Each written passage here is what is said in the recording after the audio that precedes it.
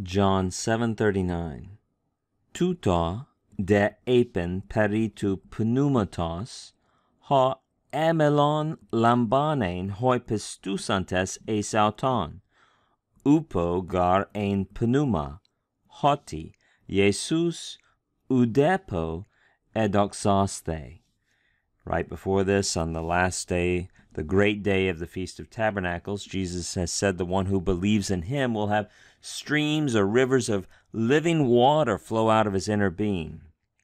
And now we read, Now uh, he said this, there's the apen tuta, he said this about the Spirit, whom, and you know, the Spirit depicted in Scripture is a, a person a personal entity, uh, but grammatically the word spirit, pneuma, is neuter. And so when we have a relative pronoun that refers back to it, it's a neuter relative pronoun, just in the same way if we had the, word the word teknon here, if we had the word for child, a child is also a person, but grammatically we would refer back to a child with the neuter relative pronoun.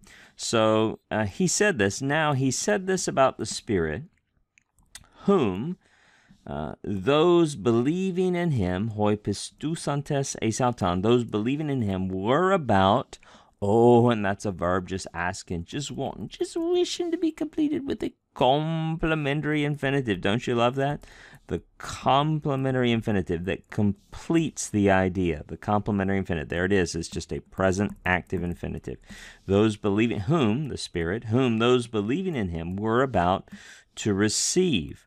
And then we have this explanatory uh, gar clause. Remember that gar will jump second in the clause or sentence, but in English we put those little connecting words first. For not yet was the Spirit. In other words, the Spirit was not yet given as promised in the new covenant age because Jesus not yet was glorified. Jesus was not yet glorified. That last word do you recognize what that is coming from? Yes, that is coming from doxazo, to glorify. You see the augment, you see the theta, bam, right? That theta is like a big easy chair. Somebody kicking back with their remote control, binge watching Netflix. They're feeling very passive. And indeed, that is that theta is the sign of the passive. The augment lets us know it's an aorist passive indicative. That's a third person singular ending. Third singular because the subject is Jesus. Jesus not yet was glorified. And in the fourth gospel here, the Gospel of John, this glorification of Jesus clearly refers to his death and resurrection. Jesus had not yet died and been raised to inaugurate the new covenant and the, the gift of the Spirit uh, associated with the coming of the new covenant. And so the Spirit, he had not yet been given in that way.